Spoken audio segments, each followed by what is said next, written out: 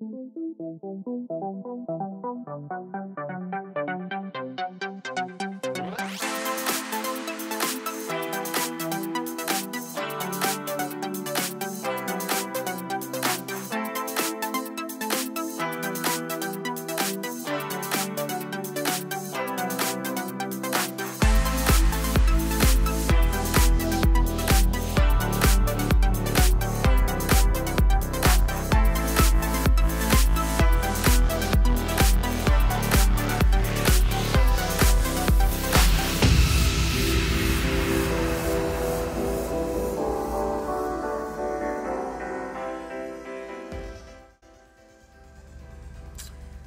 guys, it is 4 o'clock and I haven't vlogged since that tiny b-roll that you saw with me making my smoothie and going to work this morning.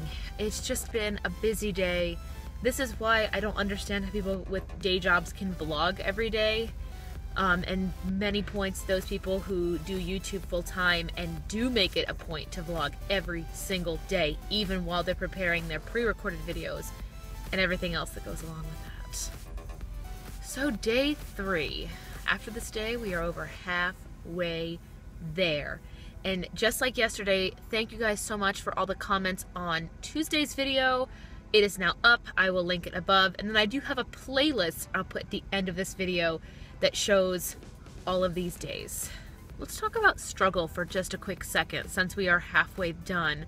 And this is typically when struggling comes in um, whenever I do start workouts or diet plans or just cleanses or changes in life, I hit the ground running at the beginning and I'm so enthusiastic, like America during the first week of the year with New Year's resolutions. Everybody's so into it, it's their thing, they love it. And then after the first week, they taper off. Typically, halfway through something, I also taper off. So I spent a little bit of my lunch break today researching like healthy recipes I could make, best ways to meal plan.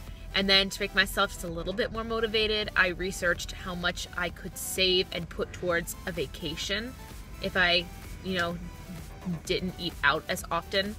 I am, I think, within six weeks of earning my first 40 hours of paid time off which is very exciting. Um, tonight, I won't be able to vlog very much. I'm going to a rehearsal for the symphony concert that I sing next Tuesday. We have one rehearsal tonight to kind of figure out the way the show is going to flow when the orchestra plays.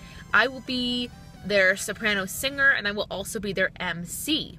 It is my first time with this symphony MCing a concert. Again, this is another one of those skills I got on cruise ships that I never thought I would get. It was one that was just thrown upon me, but it was public speaking. And I'm really excited that I'm now getting gigs and jobs um, for me being able to stand up in front of a bunch of people and speak and having these companies and organizations trust me with the success of their programs.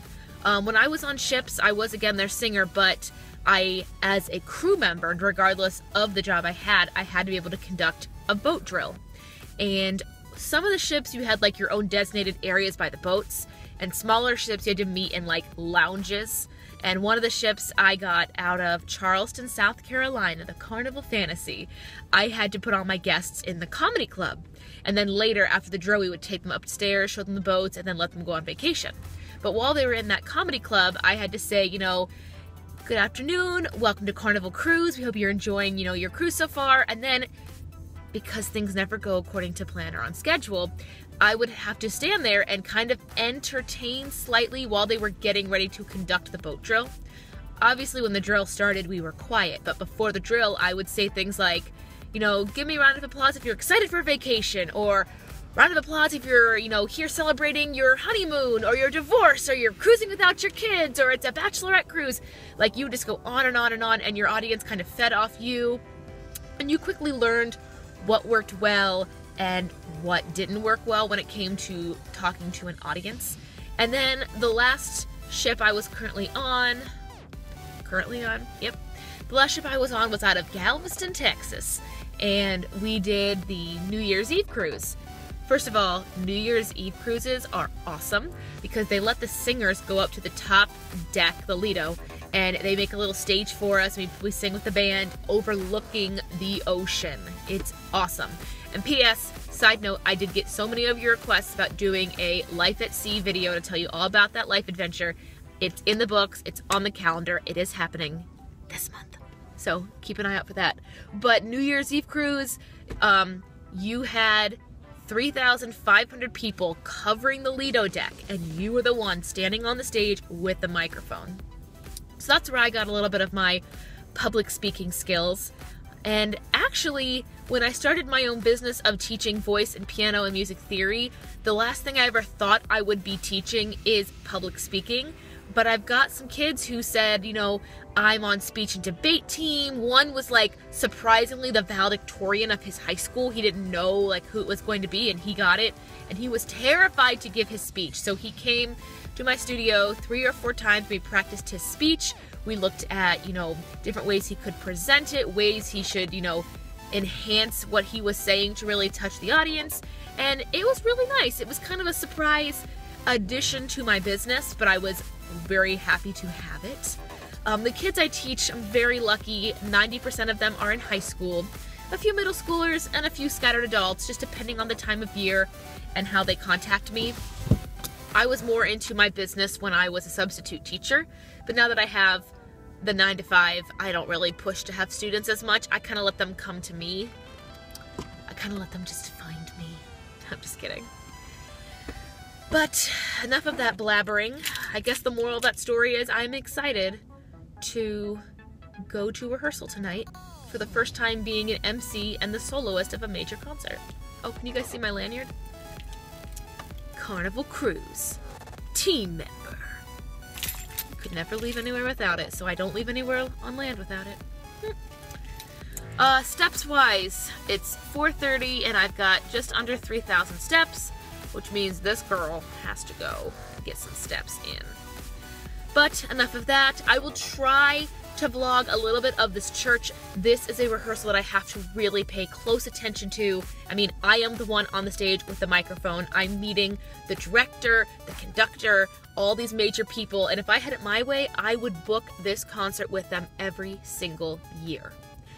I'll give you guys, I'll tell you a little secret. It's not really a secret, but to me it is in booking this concert and kind of meeting a few people. They've already asked me to come back in August and be their soloist for their summer concert series. So that is for a singer to book a orchestra gig without representation. I don't have an agent for for soloist gigs. That's not a thing I have.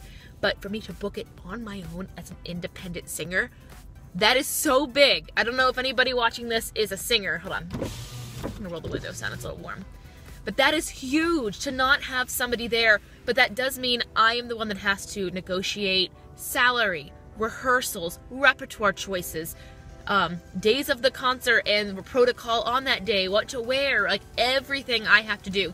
But I think in the end, it's worth it and it makes you appreciate what you're doing so much more. Anyway, I have blabbered enough.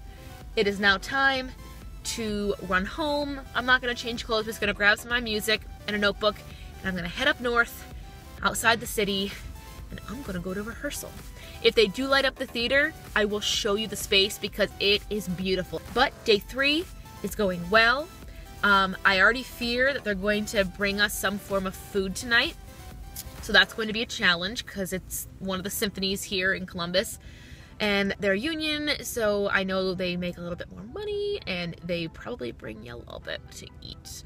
Um, if they do offer food, I might take something small just because I looked up how much these smoothies are and your calorie count is really low. Like you could not live on this. This would be too much. But I will talk to you guys later. Bye. Here we are spending an evening of rehearsal at Ohio Wesleyan University.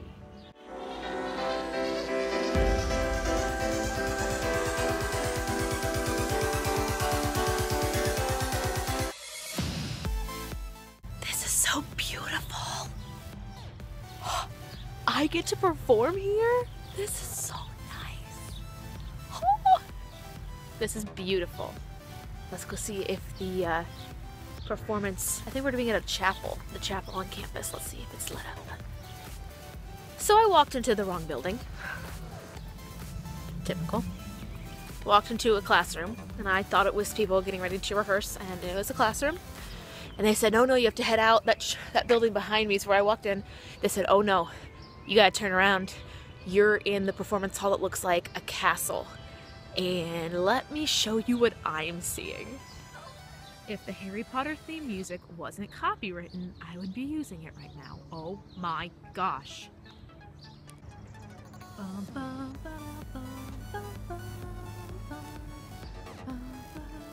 Yeah, I'm singing it to myself.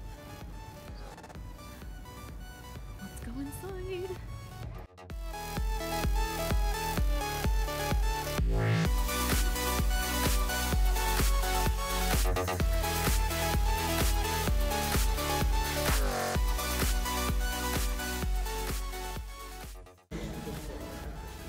My earpiece.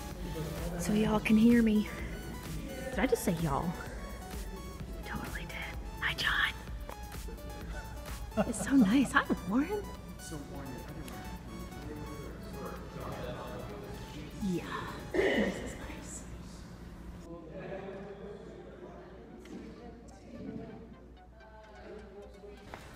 Oh, it's very late. Rehearsal just let out. I am going to have to make a long commute home because this is far away from my home.